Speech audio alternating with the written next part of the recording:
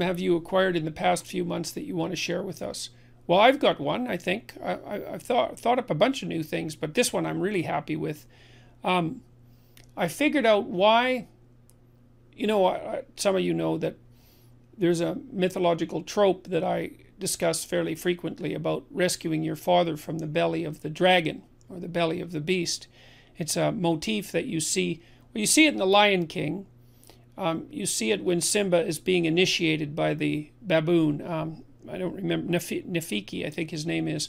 Um, after Nala humiliates him because he's still a pathetic adolescent, he follows the baboon, I think it's a mandrill actually, um, down underground essentially through a long tunnel. There's a lot of kind of scary music in the background, and he ends up contemplating himself in a dark pool, and then his father appears in the sky.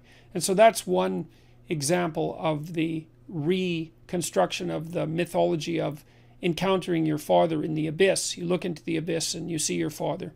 And then in the Pinocchio story, um, Pinocchio, of course, when he's trying to become a genuine human being, instead of a marionette pulled by other people's strings or a neurotic or a, or a liar or a jackass, because those are his alternate destinies, um, he goes down to the darkest place he can find, the bottom of the ocean, and finds the biggest monster he can look at. And inside he finds his father and then rescues him.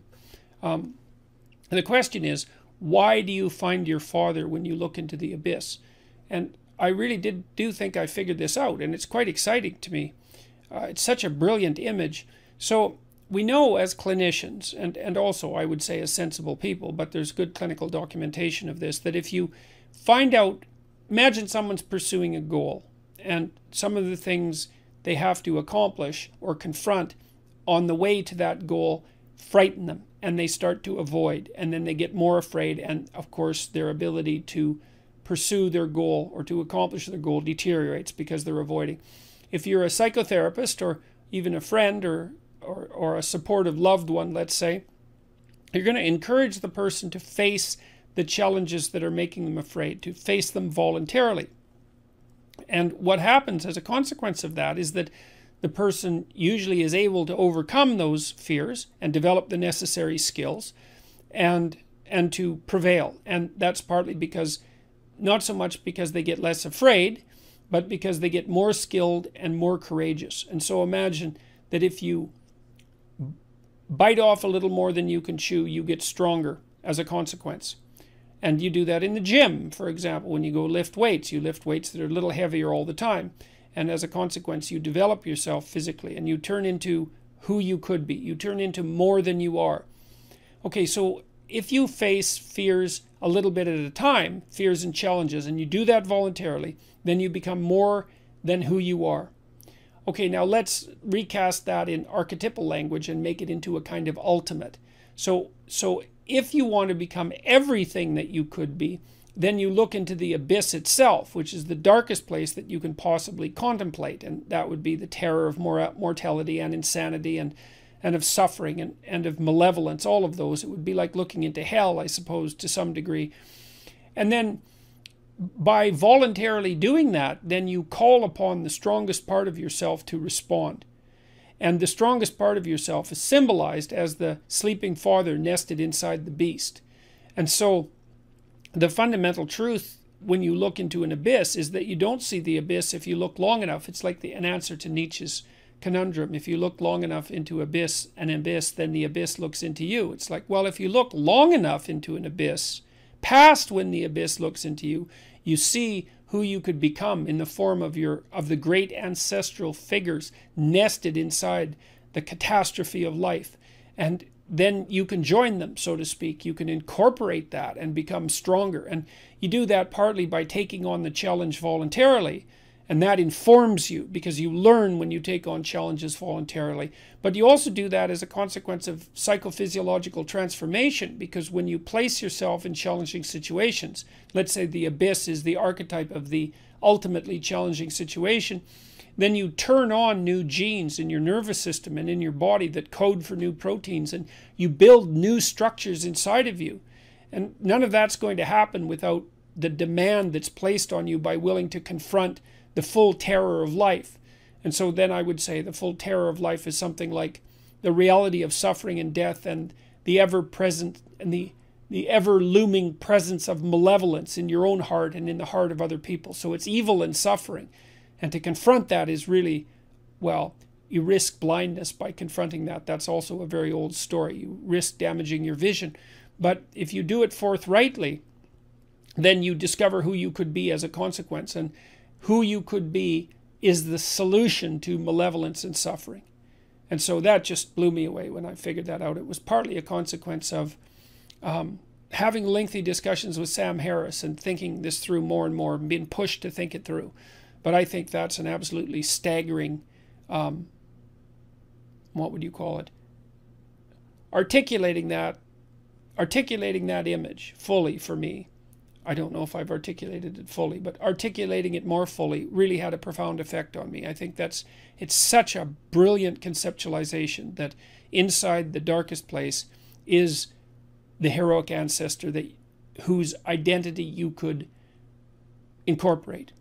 Perfect. It's perfect. And I really believe it's true. And what it does is it says that a human being is actually stronger than the greatest challenge that can be set before him or her. And that's really something. I also believe it's true. Doesn't matter how. The other thing that's so interesting about that is that it it transforms pessimism into optimism. It's like, well, the world is a very dark place. It's full of suffering and it's full of malevolence. And it might even be so full of suffering and malevolence that a reasonable person could question the justification of its being, uh, as Ivan Karamazov does in, in The Brothers Karamazov, which I would highly recommend, by the way. That's an absolutely great book, Dostoevsky. Um, but the the truth of the matter seems to be that if you face the pessimism full frontal, so to speak, um, then you find something in you that can that's strong enough to take it on. And that really says something about what would you say the relationship between human beings and divinity i would say. Because it takes something transcendent of transcendent power to be able to rise above the genuine suffering and malevolence of life and i do think that we have that within us if we don't shy away from the challenge so you know, there's in, in the story of King Arthur and the Holy Grail. So the Holy Grail is one of two things. It's a cup that either held the wine that Christ drank at the Last Supper or that was used to catch his blood when he was speared on the cross. Either one. But it's the it's the reservoir, let's say, of the fluid that eternally nourishes. It's something like that. And when you go to look for the Holy Grail, you don't know where to look because you don't know where the Holy Grail is. And so King Arthur and his knights, who all sit at a round table because they're essentially equals, each go off to find the Holy Grail, and each of them enters the forest to begin the quest at the place that looks darkest to him. And that's another example of the same idea is that what you and another it's another example of a dictum from Carl Jung which he extracted from the alchemical literature which was in sterquiliniis invenitur, which means, roughly speaking, in filth it will be found, or more to the point, what you most need will be found where you least want to look. But you have to look purposefully. If it chases you, you're prey. If you confront it, then you're the thing that can transcend it. And that's an unbelievably optimistic message because it suggests that if you're willing to take on the burden of being with its suffering and malevolence, that you can awaken that with that which is within you that will allow you to prevail. And God only knows how deep an idea that is. It, it might be the deepest of ideas because who knows what the, the limit of a human being is.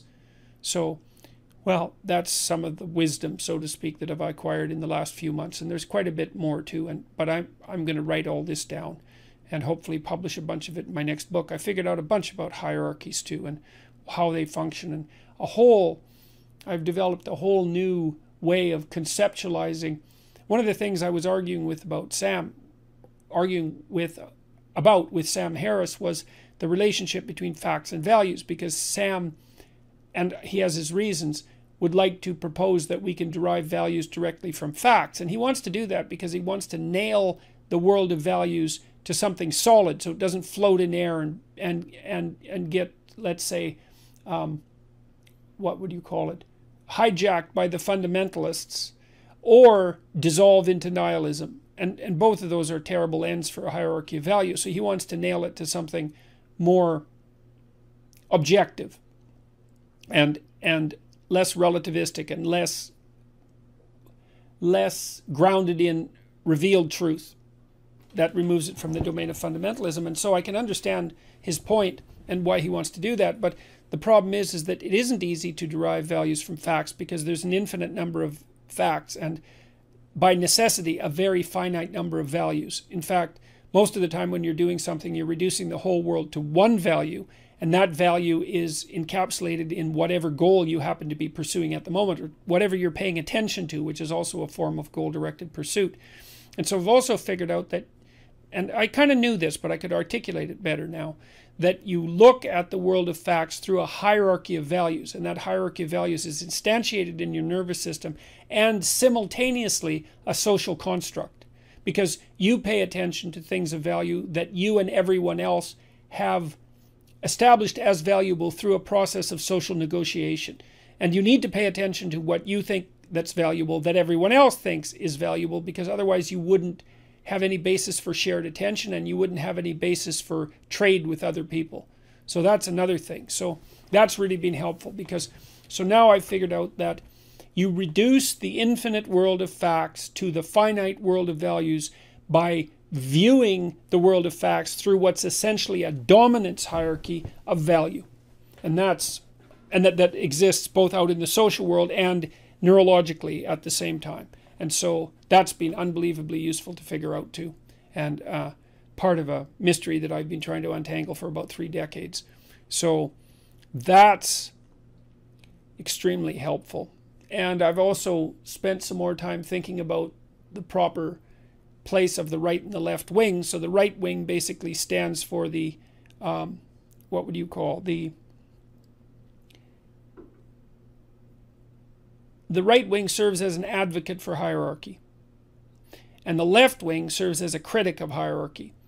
And the right says, well, we need hierarchies. They're often hierarchies of competence. They're necessary to organize people and society, and they're necessary to get things done, all of which is true.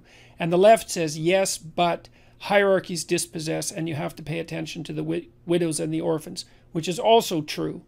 And so then the political discussion is about how to ensure that hierarchies are maintained and are functional, but also have sufficient mercy within them to take care of the people who, for one reason or another, are struggling to find their place even in a hierarchy of competence.